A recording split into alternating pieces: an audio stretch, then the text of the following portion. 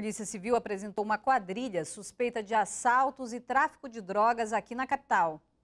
Com o grupo, a polícia apreendeu armas, drogas, munições e até um cofre. As investigações para chegar até a quadrilha começaram depois de um assalto a posto de combustível na Zona Norte, de onde os bandidos levaram o cofre com 30 mil reais. Parte do, do, do bando era especializada em roubo, cometeram muito roubo na cidade. E durante as investigações nós percebemos um link com o tráfico de drogas, que é o Nacional Felipe. Nós eh, investigamos também e conseguimos prendê-lo com um quilo de droga e uma pistola .40. Alessandro Trindade Pereira, Luísa Cristina Fernandes e Noriega do Nascimento Oliveira foram presos primeiro. Depois os investigadores chegaram até Felipe Batista Ribeiro, Neisa Mara Rios Alencar e Daikiciana Oliveira Salazar. Duas adolescentes também foram apreendidas. A quadrilha agia nas zonas norte, leste e centro-oeste de Manaus. A polícia ainda procura por outros envolvidos. Todos os presos já tinham passagem pela polícia. Agora vão responder por roubo, associação criminosa, porte ilegal de arma e tráfico de drogas.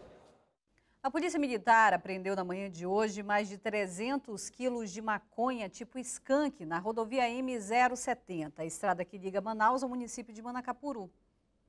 A droga era transportada em dois veículos e vinha de Manacapuru pela rodovia M070. Os carros foram parados em uma barreira da Polícia Militar em Iranduba. Durante a abordagem, mais de 300 quilos de maconha tipo skunk foram encontrados. O colombiano Arley Oliveira e os irmãos Wellington e André Costa foram presos em flagrante. Segundo a polícia, o colombiano aceitou transportar a mercadoria de Tabatinga para Manaus por 10 mil reais. Mas o colombiano disse à polícia que não sabia o que tinha nas sacolas. Mesmo assim, quando Arley Oliveira chegou a Manacapuru, contratou os irmãos para ajudar no transporte do entorpecente. Os três foram levados para a 21ª Delegacia Interativa de Iranduba. O combate hoje da, da gestão da segurança pública é é, liquidar, desidratar as organizações de tráfico de drogas. O resultado está aí, mais uma apreensão, então o prejuízo está muito grande para os traficantes. A droga tinha como destino a capital. A polícia ainda investiga a participação de outras pessoas no esquema de receptação de entorpecentes pela rota do tráfico que usa a rodovia M070. Eles foram autuados por tráfico e associação ao tráfico de drogas.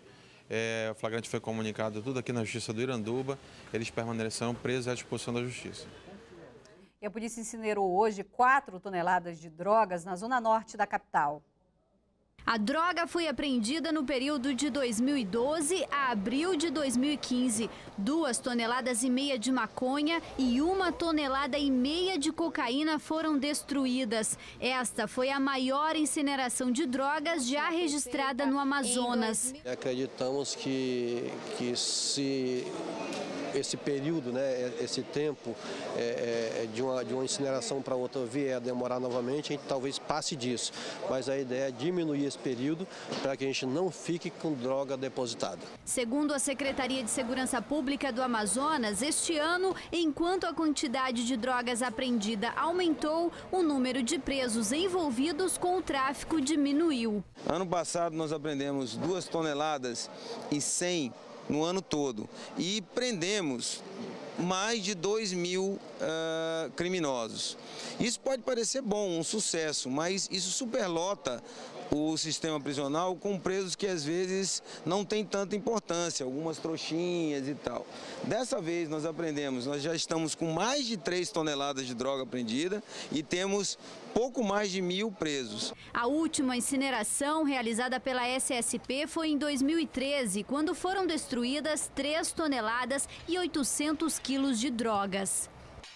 Os casos de violência contra idosos têm aumentado aqui em Manaus. O abandono é a forma mais comum.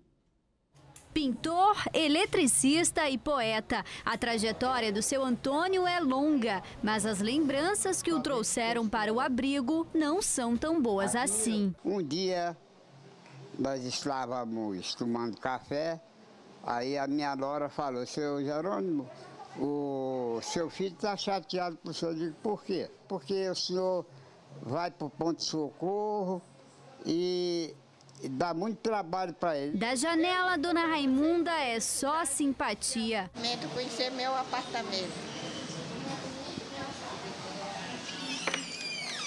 Como é Como vai, dona Raimunda? bem, graças a Deus. Aos 83 anos, a memória parece de menina. Por que, que a senhora veio para cá?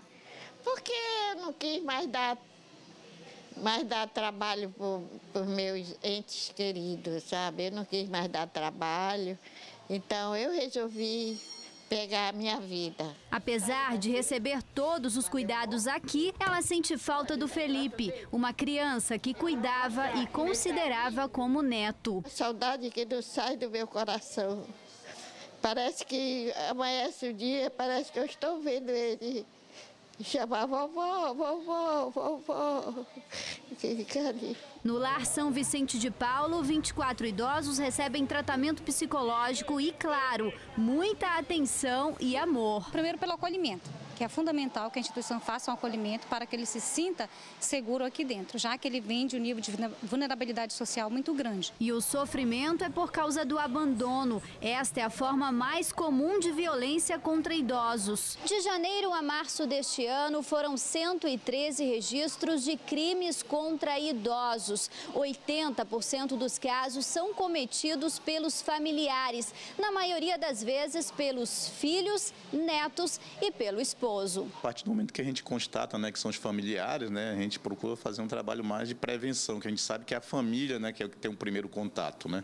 Então, o idoso está mais vulnerável mesmo no seio familiar. Uma triste realidade que nem sempre dá para disfarçar. Fica assim, estampada no rosto de quem sente falta da família e enfrenta a solidão com poesia. Tudo o que eu preciso é sair é, é estar na pessoa que eu mais amo neste mundo, teu amor.